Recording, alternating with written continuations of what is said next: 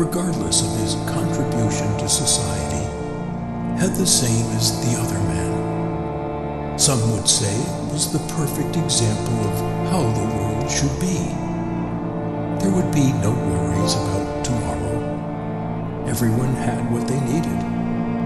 There would be no jealousy as your neighbor had the same as you did. Humans were all equal. Should be no disparities amongst people. That was exactly what the world had come to. After all, no one wanted to live in a world where insecurity was the order of the day. Families fighting for control of dynasties, governments wrestling for more power. Such was the nature of humans, wanting more and more. Did Plato not argue that private ownership of properties and goods would encourage selfishness? Was he not right?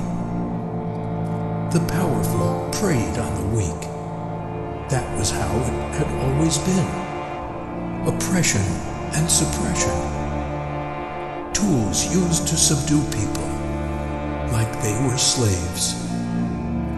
People rebelled, as they had always done to past government, and after long debates on how to move on, they decided that every man should get what he deserved equal treatment. That was the new religion. That was what the world had become. Right now, at this very moment, even though great philosophers only theorized about living in this kind of world, they believed it was the perfect world, one without violence, where human beings had learned to subdue themselves and become rational, morally upright people. Resources would thrive because people would be using them the right way. There would be no exploitation, no discrimination. There would be no rich,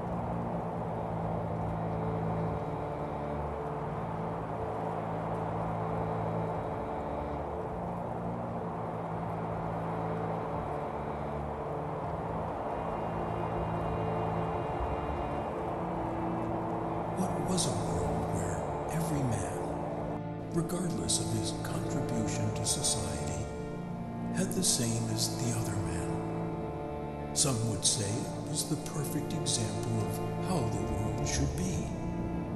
There would be no worries about tomorrow. Everyone had what they needed. There would be no jealousy as your neighbor had the same as you did. Humans were all equal. There should be no disparities amongst people. That was exactly what the world had come to. After all, no one wanted to live in a world where insecurity was the order of the day. Families fighting for control of dynasties, governments wrestling for more power. Such was the nature of humans, wanting more and more. Plato not argue that private ownership of properties and goods would encourage selfishness? Was he not right? The powerful preyed on the weak. That was how it had always been. Oppression and suppression. Tools used to subdue people, like they were slaves. People rebelled as they had always done to past government, and after long debates on how to move on, they decided that every man should get what he deserved equal treatment. That was the new religion. That was what the world had become. Right now, at this very moment, even though great philosophers only theorized about living in this kind of world, they believed it was the perfect world, one without violence, where human beings had learned to subdue themselves and become rational, morally upright people. Resources would thrive because people would be using them the right way. There would be no exploitation, no discrimination.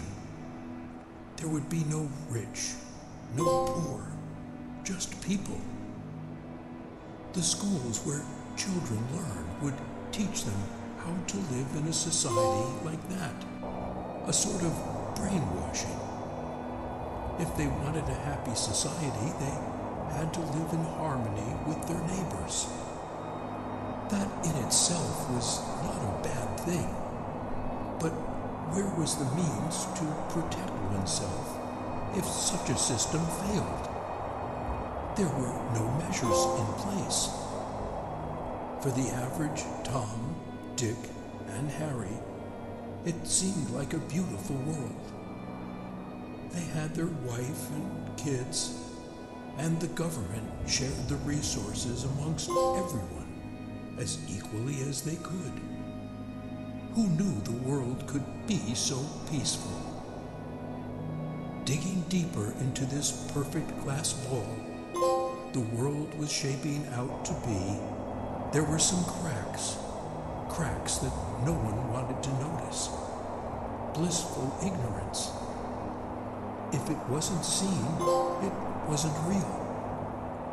There were the optimists, those who clung tightly to hope that everyone could live in harmony.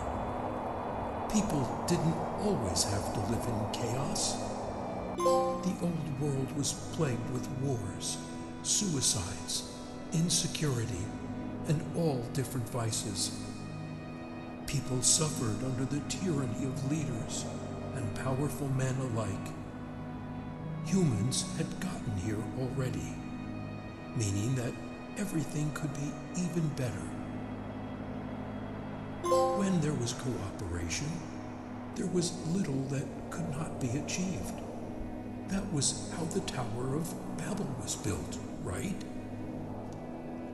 Great buildings rose up, beautiful structures got erected, and the cities were pleasant to the eye. Most houses had the same structure and size, treating everyone as equally as possible.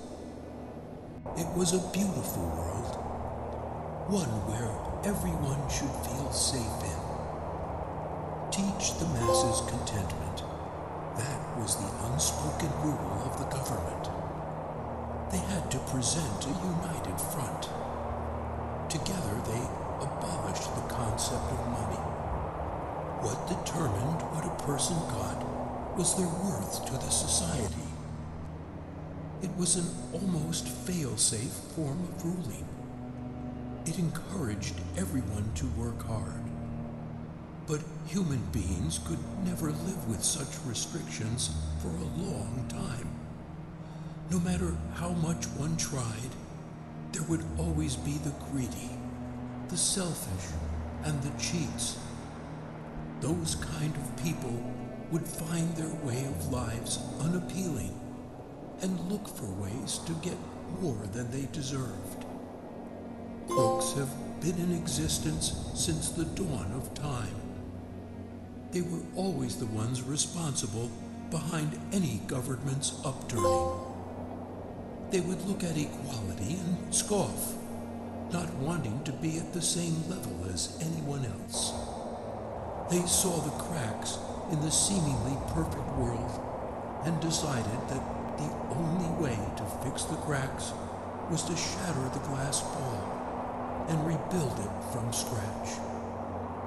They wanted to seize control and they wouldn't rest until they got it. Their beliefs would be that people shouldn't live in a cage. Everyone should be able to control their own lives and get whatever they wanted, even if it meant cheating others. People should be able to choose whether they wanted to be good or bad. They would band together and overthrow the government. Everything that good men and women worked hard to achieve would eventually be destroyed. Whose fault would that be? Perhaps one could attribute it to the rotten nature of humans that some gave into. At first, the government might try to reason with them, thinking there could be a way out as it usually was. Surely, they would have had multiple attempts by the people to overthrow them or cause unrest. This time around, people would be ready to give their lives to the cause. They no longer wanted to sit home while a bunch of nose pressed people dictated what they could get or couldn't get. The innocent would be left to suffer the consequences of an overthrown government. It would be inevitable that the government would be the first place of attack. Every successful coup started with taking away the power from those in charge. The military would try to stop them, of course. But when sheer numbers of people revolt, there are only so many that could be killed or arrested. The military would be overwhelmed, and they would either flee from the violence or be destroyed by it. There would be little to no dignity, as people would be reduced to the lowest forms of themselves so they could live. Parents would abandon their children to run, and friends would betray one another. No one could have seen it coming. One day, families would be eating together or playing together. Men and women would be working when utter mayhem would descend. Screams would fill the air as all manner of atrocities would be happening. What would be the impact of the fall of what should have been a perfect world? That's right, chaos. In a world where no one dictated what was right or wrong, and people could get away with anything, chaos would reign.